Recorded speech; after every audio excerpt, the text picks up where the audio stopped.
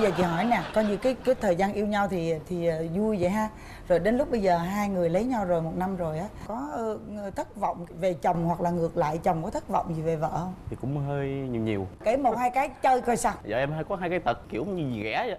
Gì ghẻ là sao? ờ, giả sử như em đi nhậu nha trước khi đi á là phải hứa làm cái gì đó. Giả sử như chồng đi về về giặt đồ nha trời ơi bữa đó về tới 9 giờ 10 giờ mình phải ngồi giặt nguyên cái thao đồ một cái từng lễ anh nghĩ đi mười mấy quần jean là áo thun sớm sơ mi là ở nhà các kiểu giặt xong là tỉnh rượu luôn Rồi không có máy giặt hả? Là không giặt tay em không thích máy giặt coi như là xử theo kiểu gì ghẻ với lại con Dạ. chồng vậy. Dạ, ra là vậy. may mà còn chưa bắt lụm gạo với lại lụm tóc á không chị có không có nữa như về sớm đúng không phải đi chợ để đồ sẵn nấu cơm để sẵn Ừ.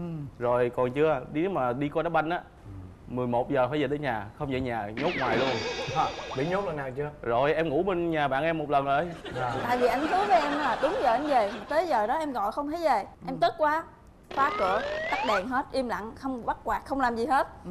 đứng đập cửa đùng đùng đùng em ơi em ơi em nghe mà không trả lời luôn Trời rồi thế là qua mấy anh đực hàng xóm hủ cá Trời ơi, Vui không? lỡ mà, Dạ. bữa, lỡ mà bữa đó là không qua bên mấy ông anh mà qua mấy ờ, bà Mấy em bà. thì sao anh muốn đi chừng nào anh đi mà lúc đó đi đâu chị. Đi bộ vẫn có- có đem theo hai chục ngàn uống lũ ly cà phê có đá banh cái điện thoại đi đâu chứa giờ đúng không? ai chứa nữa ngoại trừ mình đi qua ngủ ké thôi chứ đi đâu nữa giờ. À, có sao nữa? lại hay hậu đậu nữa quần áo mà à, ủi đúng không? Cái áo là phải ba ly cái quần thì mất ly. Giống như quần áo con bò không có ly nào hết á. Tại vì Ủi trước đó là mẹ em là thợ may tất cả mọi thứ ở nhà thì mẹ là cưng con gái không muốn ờ, cho làm. Thì bây giờ em có chồng là em nghĩ là em ủi sao miếng nó thẳng thì thôi em ủi là ủi coi lát từ quần tây mà ủi thành quần bò đó phải không? Dạ đúng rồi. Ly không lâu gì hết trơn á. Rồi còn gì nữa không? dạ thì à, thì cũng hay ngồi xây giặt mà ngộ lắm anh. Nhờ mình cái gì là rất là nhẹ nha. Mình mà mình nhờ lại là là kiểu như là Khó chịu không? không không không có chịu. Hai chồng cùng lìa làm mệt cái vậy đi. Chơi trò là dần lưng qua lại. Đấm lưng á. Nói thôi chồng à, ưu tiên giờ đấm trước vợ đi đấm 15 phút đi. Rồi giờ đấm lại cho. Đấm đã rồi hồi giả bộ ngủ luôn. À, ngủ luôn nói vợ vợ vậy tới vợ đấm chồng. Không trả lời giống như im re à. Giả chết đó. Dạ, giả bộ vậy Ví dụ đó tôi hiểu anh tôi này hiểu. em thấy dễ bị gài lắm. Em gài được em cứ gài thôi. Vậy có nghĩa là vợ cái tánh giống như nít đó phải không? Dạ. Trẻ con ha. Thấy chồng em có trẻ con không?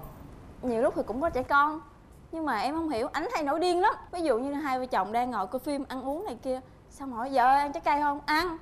Chồng gọt đi rồi đi gọt. Ăn gọt trái cây ăn xoài em làm có muối.